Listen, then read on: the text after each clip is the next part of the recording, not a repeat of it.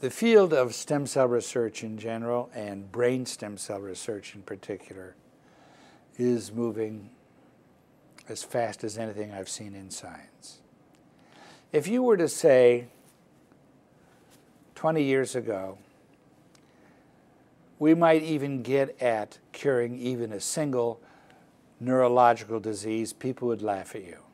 Because neurologists classically could diagnose in great detail these diseases and do nothing about it. Just like everything else, you have to overcome the inertia of conventional wisdom.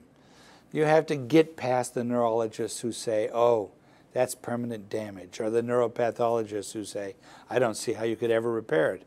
And you have to show them, as we've shown in animals. And that's the most exciting thing. We've shown in animals with spinal cord injury that the human brain stem cells that we isolated and could grow and put into the lesion could repair the spinal cord injury and the mice get up and walk in a coordinated fashion. Well, from mouse to human is a pretty big step, but it's nothing like a paralyzed mouse going to a walking mouse.